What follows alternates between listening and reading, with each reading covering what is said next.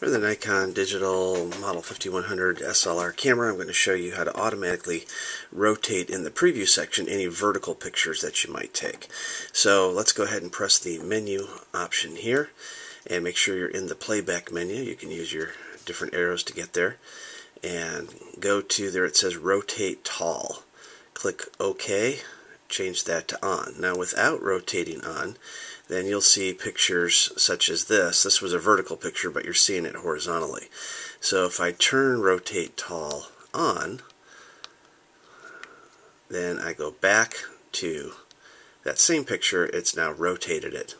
So anything taken vertically will make the uh, picture rotate so we can see it normally.